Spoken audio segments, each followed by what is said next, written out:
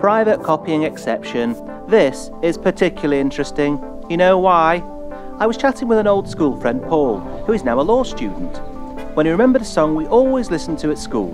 By chance, I had the song on my MP3 player, but when I offered to send it to Paul, he replied, That's illegal!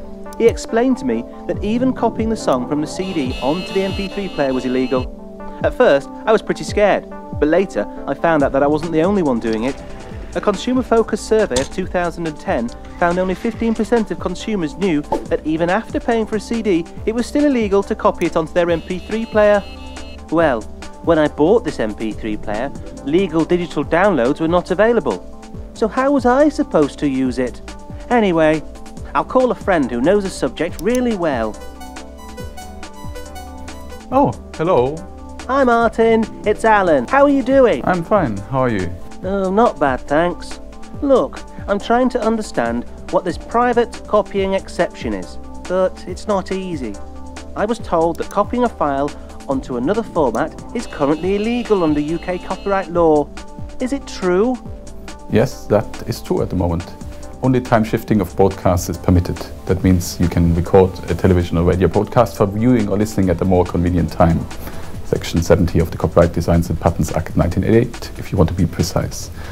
UK has not implemented a proper private copy exception yet, so most of the content of your laptop, smartphone or MP3 player remains frankly illegal. What do you mean, yet?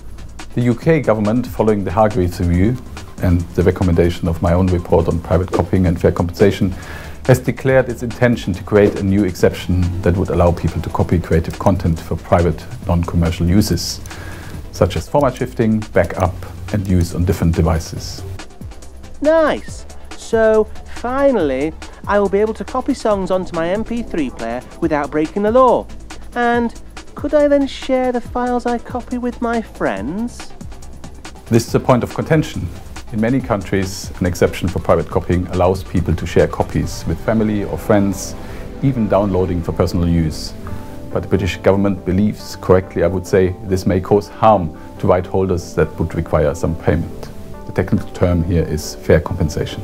Yeah, I read something about fair compensation. What does it mean exactly? Well, EU law says that if this exception causes economic harm to copyright owners, they should receive a payment. This is organized in many countries by a system of copyright levies, a sort of tax or charge on certain devices that enable copying. For example, blank CDs and DVDs, MP3 players, scanners, even computers. Money collected is then divided among right holders. But if a private copy exception only causes minimal damage, no payment is due. For the UK, it would be convenient to limit any private copying exception to narrow uses, thus avoiding the creation of a complex system of compensation that has not worked well in most of Europe. However, there's a danger that much of the content on your smartphone may remain illegal. Whether the consumer will understand that remains to be seen.